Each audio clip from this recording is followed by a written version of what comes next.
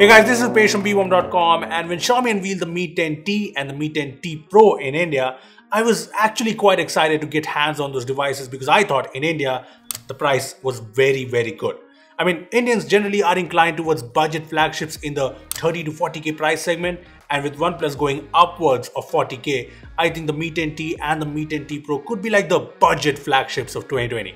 Well, this is the Mi 10T Pro and while this is not a review, this seems like a very balanced flagship phone so far. But there's one thing that could either make or break this phone.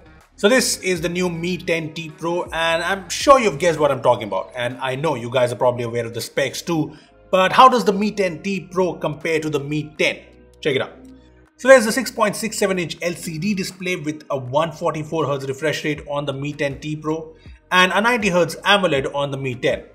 Both of them have the same Snapdragon 865 with 5G LPDDR5 RAM, but the Mi 10T Pro has the faster UFS 3.1 storage. As for the cameras, both have the same main cameras, 108 megapixel f1.7 sensor with OIS and the same 13 megapixel ultra wide angle lens, but the Mi 10T Pro actually has the higher resolution 5 megapixel macro lens and it does not have the practically useless 2 megapixel depth sensor. Now when it comes to a battery, the Mi 10T Pro has a slightly bigger battery and slightly fast charging, but the Mi 10 has wireless charging support and the Mi 10T Pro does not. So these are the differences and considering the price gap, I think the one big difference between these two Mi flagships is the display. The fact that the Mi 10T Pro has an IPS LCD display. I know it's a 144Hz display, but let's face it, AMOLED is AMOLED. I prefer AMOLED and a majority of the people prefer AMOLED over IPS LCDs. So why exactly did Xiaomi put in an IPS LCD in the Mi 10T Pro? Well, I recently came across this interview on TechRadar where Xiaomi's product marketing manager said this about the Mi 10T Pro. It's better to have a high quality LCD, the best of the best LCD, versus a middling sort of AMOLED. So basically he means that Xiaomi has used a very good LCD panel on the Mi 10T Pro. So I honestly wanted to check how good is this display? How does it compare to say an AMOLED display? Now I have two phones with AMOLED displays right now, the OnePlus 8T and the Galaxy S20 FE. Both of these have 120Hz AMOLED, so refresh rate wise 120Hz versus 144Hz isn't exactly a big difference. So it all boils down to the display quality.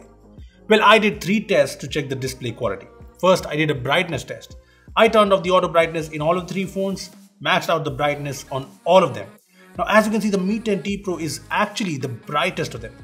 I also wanted to see how dim they go because good displays generally get very dim for better viewing at night and turns out the Mi 10T Pro also gets the dimmest so this LCD display is actually pretty good.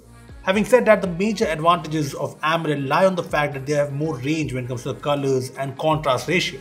So I played some videos on all these phones to notice some difference now here's a nice vibrant video playing on all three phones and as you can see the Mi 10T Pro isn't lacking when it comes to the colors. To be honest an IPS LCD can't match the contrast and deep blacks of AMOLED but when it comes to colors and the overall picture quality I think the Mi 10T Pro's display does very well.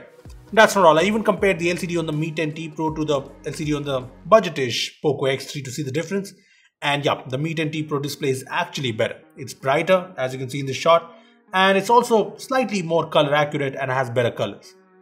So the Mi 10T Pro display is actually very good. I mean, like I said, AMOLED is AMOLED, but I think this is actually a very good LCD panel. Obviously, it can't match AMOLED, but it's not like you're using a cheap LCD panel on your flagship phone. Plus, the 144Hz refresh rate means the display is very smooth and responsive. Now, one thing I did want to mention is that like the Mi 10, the Mi 10T Pro is again quite a hefty phone. See the size and weight of the Mi 10 was like the biggest issue I had with the phone and it kind of remains on the Mi 10T Pro too. Here's a comparison of the Mi 10T Pro's size and weight with the 8T and S20 FE and you can see that the Mi 10T Pro is heftier and also thicker. Honestly Xiaomi I really want to know why you guys aren't making compact and sleek phones. Give this video a like if you agree with me. Anyway, the rest of the Mi 10T Pro is actually pretty good. I mean the size and weight apart, I like how the phone looks when it's clean and shiny and does not have a thousand fingerprints on it. And well, it does look very premium. As for the performance, there's been no lag or stutter so far and the cameras are really good. Here are some photos from the phone and they look very good. I mean the Mi 10 did beat the OnePlus 8 in a camera comparison video. So with the Mi 10T Pro featuring the same main camera, the performance should be very good. As you can see in these photos, it does seem actually pretty good. So overall, I think the Mi 10T Pro is a very balanced budget flagship of 2020. be it when it comes to price or be it when it comes to specs. But yeah, these were kind of my first thoughts on the phone and I'll be testing things like camera, the battery and more in the next few days. So let's see how it goes. Anyway, I'd love to know your thoughts on the Mi 10T Pro and do you want us to review this phone? Tell us in the comment section below. Also give this video a like if you enjoyed it and make sure to share it and subscribe to our channel for more amazing tech videos. Well, that's me signing off. Thanks for watching and I will see you in the next one.